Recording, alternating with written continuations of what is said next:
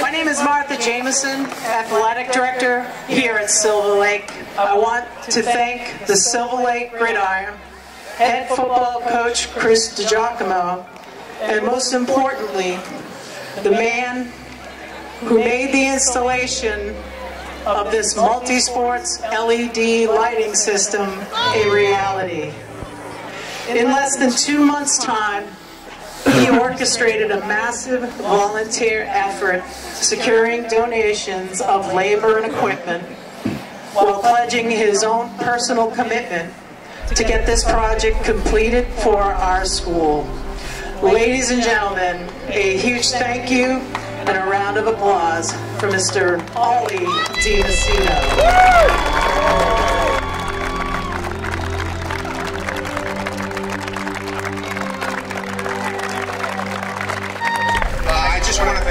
Everybody. Uh, this was such a huge effort. So many people stepped up from the community. Uh, I'd like to thank my Gridiron Board, all the parents that came to all those meetings, uh, these boys that showed up to every single meeting. Um, I'd like to thank Christine Alejandro from Marty's GMC Buick. Um, also Mary O'Donnell, who was instrumental in helping us get the funds. Um, and there's so many other people that stepped up to allow this to happen.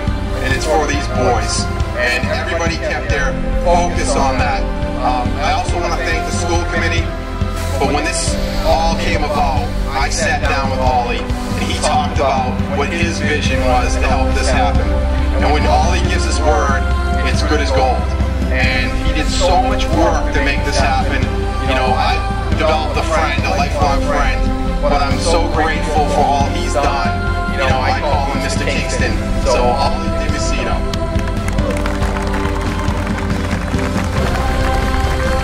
Thank you, everyone, and uh, you're right. Yeah, my shirt, my high school shirt. I love it. The number 82. A lot of memories in this field. A lot of memories. You gain friends, and you are my friend for life. One thing about me and my family, anyone who's been my friend, whether you were in the, we met in the third grade, seventh grade, in college, they're still my friends.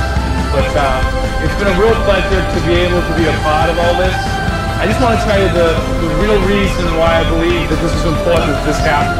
My mother always told me when I was a little kid, when we immigrated here, she told me about that. It's, and I'm going to say it in Cape Verdean, uh, é povo que um país, which is translated to saying it is the people that make a country.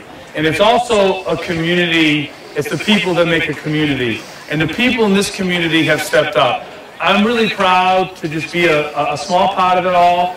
Uh, I spent a lot of time here in these fields for the last two months. I got to know a lot of people from the school committee to the superintendent, to the principal, uh, obviously even the custodians, the kids from the horticulture department.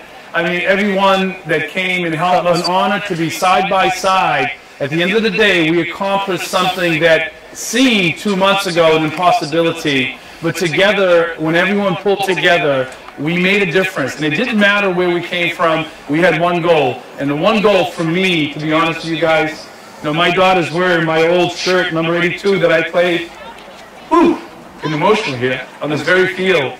And I have so many memories here.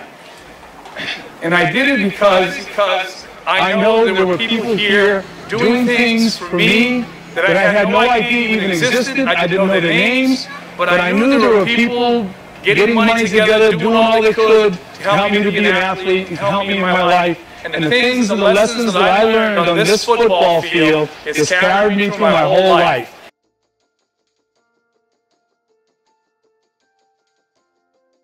So all of us, and especially these these guys standing here in uniform to play tonight, I'm so glad that we walked through this process together and we made a difference. And tonight, as the lights go on, uh, it's something that we all did together. We will never forget it. Our kids will know about it. You'll know about it. Some of you guys will do some incredible things on this field, especially the younger ones, the soccer kids, the lacrosse kids. They'll be a part of the school for a long time to come. The first one, because he had to listen to me every single afternoon, was my, my brother, my dear brother Vinny, who's also an alumnus here from Silver Lake. Um, Vinny's our state senator. And not only did Vinny help us moving things along where we needed his help from a political perspective. But I know my own brother, he took money out of his own pocket and he donated to the cause. Nobody else's money, his money. And I didn't ask him for it, but he did it. See, Vinny, to me, is an example of what it is to be a statesman. He does the things because it's right, because it's the right for the right reasons. There's no gain in it. And I'm so proud that being alumnus of Silver Lake like me, you know, he wanted to come together, even when I was discouraged at the beginning. You know, say, oh, listen, we'll find it, we'll figure it out, we'll get the money where we have to get the money, and we'll make it all happen. So I really appreciate the fact that not only is he my brother, but he's your state senator, and he's made a difference in all our lives, and I thank you, President. Thank you so much.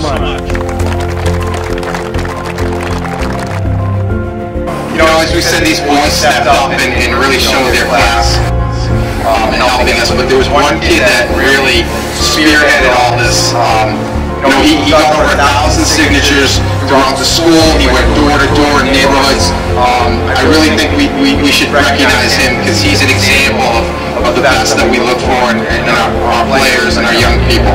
Uh, that's Dominic Sheehan.